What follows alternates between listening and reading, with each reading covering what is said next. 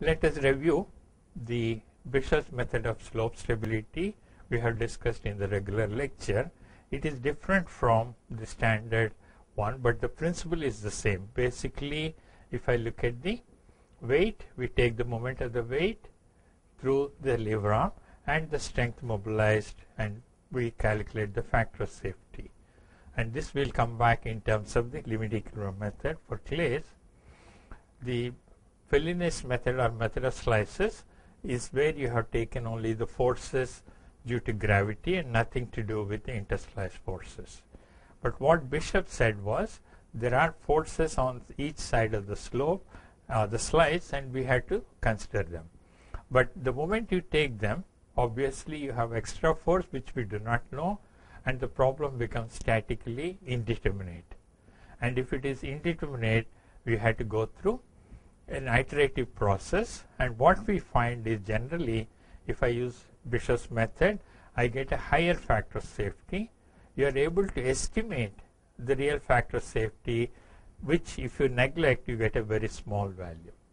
This is the Bishop's method, according to which this is, let us say, the gravity force, and these are the interslice forces. And here is the normal force, and we, if I take this into consideration, you can see that vertical force and the normal force so the strength required is less because you already have a certain component which is opposing the sliding. So that is how we come. Here is the actual mechanics of it. I have this typical slope here. This is an arc of a circle. You have taken a slice of width b. The height of the slice is h. So we know how to calculate the weight. And if I look at the radius, the radius is inclined at an angle alpha or if I draw a vertical line here this angle also will be alpha. These are the forces acting on the slice the gravity force a downward force on the right side in this case because the slope is pushing it from here and a normal force and an upward and another normal force. This is the normal reaction and if there is any pore pressure we want to calculate based on the pore pressure at the base and the shear force T. Now what we do in Bishop's method is in order to account for first we neglect x1 and x2 we do not that is the simplified method and we try to take equilibrium of forces in the vertical direction in which case I don't even have to look at E1 and E2. So I get the factor safety in this fashion and what we have is this term m alpha i where m alpha is equal to cos alpha i into 1 plus tan alpha i tan phi by friction angle mobilized Fm.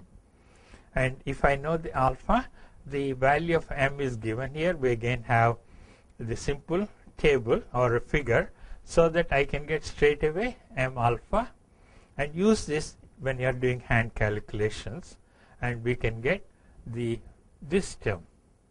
And when we do this each slice you have to find out what is the term m alpha i from here for different values of alpha. Because you remember when you look at the alpha it can vary.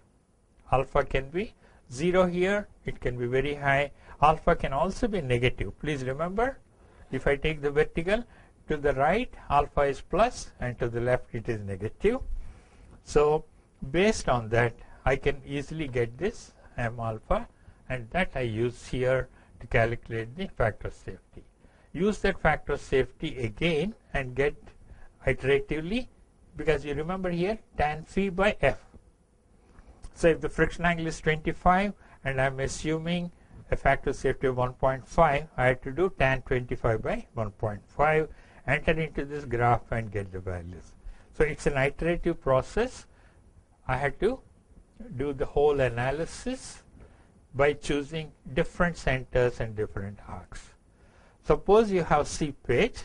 This is the phreatic line and corresponding to any of these slices you find out the pore pressure and get the pore water pressure and the factor of safety. To prove that factor of safety using Bishop's method is high. So if I hand calculate, I get 1.25. But if I'm using a computer software, I get 1.15 because here we haven't been able to set the minimum. The computer does it. But you can see if I use Bishop's method, I get a higher factor of safety. In this case, it's only marginal in the dry case. But once slope has become wet, saturated with pore pressure, the factor safety drops down. But then the Bishop's method definitely gives you a higher value. If you didn't use modified Bishop's method, you would have predicted 1.15, but the actual slope is 1. Point, factor safety is 1.3. This is more safe than this one. So you can feel more confident that you have used a better method.